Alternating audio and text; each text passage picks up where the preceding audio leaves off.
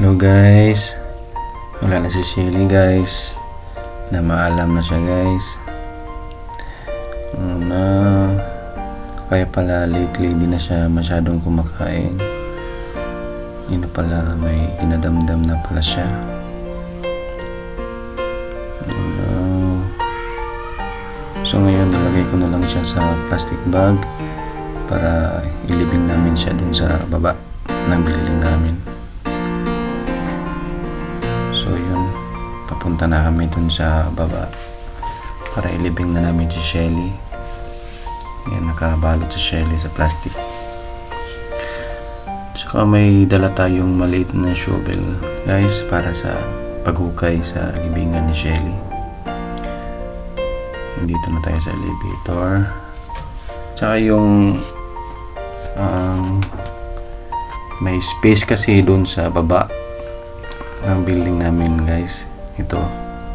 Dyan namin siya ililibing hmm, tama kami lahat. Kasi uh, nakakalungkot talaga na mawalan ng pet guys. Kasi ako kasi palagi ang nag-aalaga kay Shelly. Kaya ako ang parang ano, na feel ko talaga yung lungkot kasi meron kasing time na si Shelly ay nakakatuwa guys. Hmm, minsan makulit mga ganyan. Ayan tinulungan ako ni Langga maghukay kasi mababaw daw masyado yung hukay ko. Ayan tapos dito nagtalo pa kami.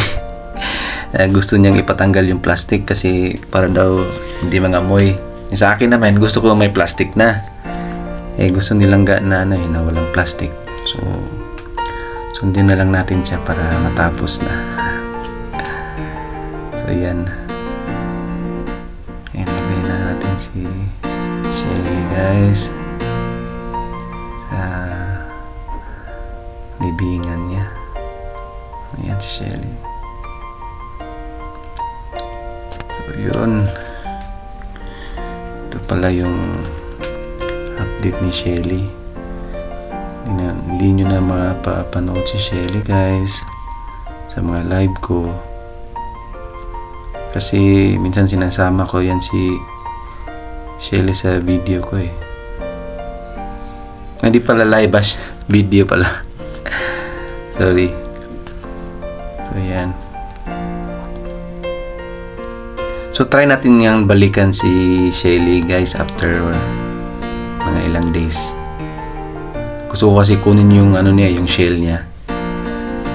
Kung um, pero i ano ko i-research ko ba kung anong gagawin nun baka kasi may mga bacteria bacteria mga ganyan.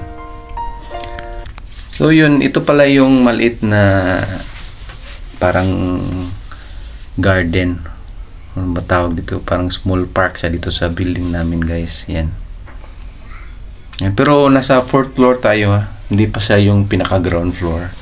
Nasa 4th floor pa to. Hmm, may baba pa. Ayan. So hanggang dito lang muna tong video na to guys. Salamat sa panonood. Don't forget to like and follow. Bye bye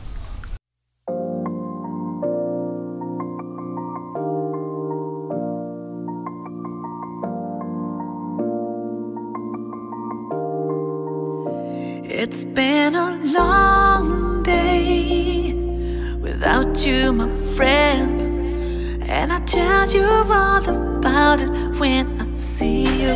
Thank you for watching. Don't forget to like and subscribe.